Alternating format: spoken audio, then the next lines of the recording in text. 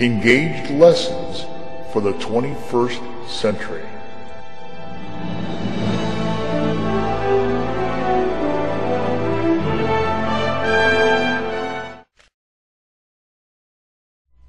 Videos saved on YouTube. Number one, videos are now being stored on YouTube. Two, how to run the video from YouTube. You will have to pause the video by hand after opening. B. On the computer, Control key and P will pause the video and or run. Smartboard use. Bring up video on smartboard. A. Pause video at beginning. B. Open up Smart Notebook. Must be 11.4 or newer. C. Click on View, then Transparent Background. D. You may now write on the video after pausing. Promethean board. Bring up video on your Promethean board. A. Pause video at beginning. B. Open up ActivInspire software. C. You will now be able to write on the video after pausing. Why, hi students, Mr. Peabody here, and I'm here to help you with determining equal shares. You'll notice that directly behind me we have two squares. One is A and the other one is B. When you're told to, we would like for you to pick up a pen and draw a line on the dotted lines and separate A into three equal shares and then do the same thing on B. However, we'd like for you to do B a different way.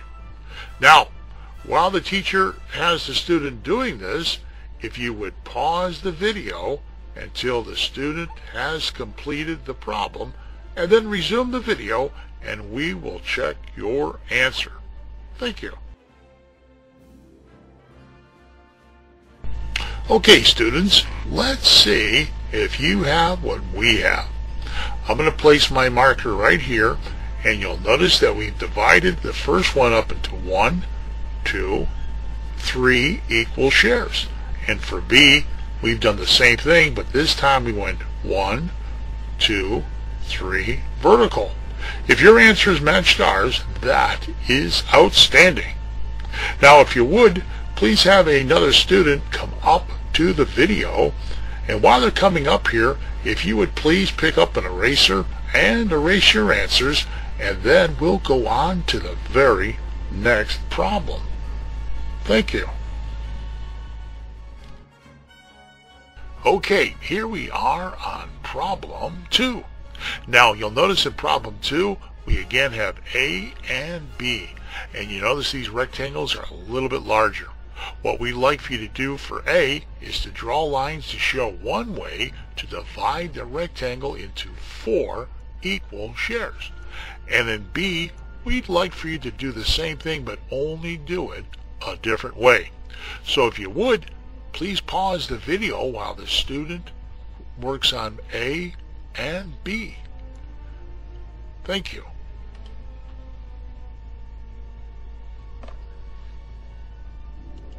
Okay, let's see what you have for A. What we did is we drew a line down here and one like this. So we have one, two, three, four equal parts. And in B, we have one, two, three, one, two, three, one, two, three, and one, two, three. We have four equal shares in this one also. Hopefully you have some idea like ours. If you do, that is great. Now, if you would, please have another student come up to the video. And while they're coming up here, if you would please erase your answers. And we will go on to problem number three. Thank you.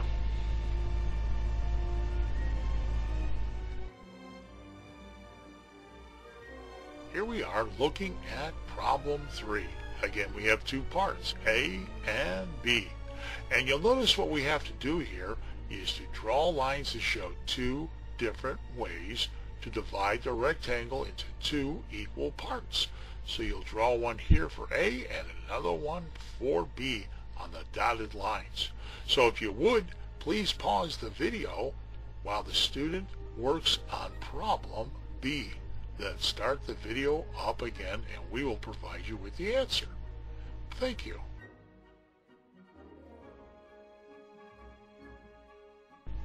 Okay, let's see we can find the answer to problem 3. Now you'll notice that we have the 2, and what I'm going to do, this is an easy one, is I'm going to draw a line straight across so we have equal shares up here and here, and we did it this way on B. So we have equal shares on this side as well as this side. Well, hopefully yours is something similar to what we have.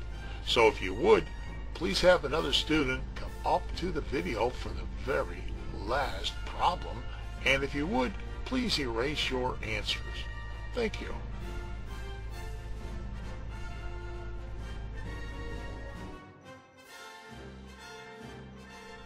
Okay, we are on the very last problem, problem four. And you'll notice that we have one, two, three rectangles, A, B, and C. What we'd like for you to do is divide these up into three different or equal shares for each one. So it's going to take a little thought process.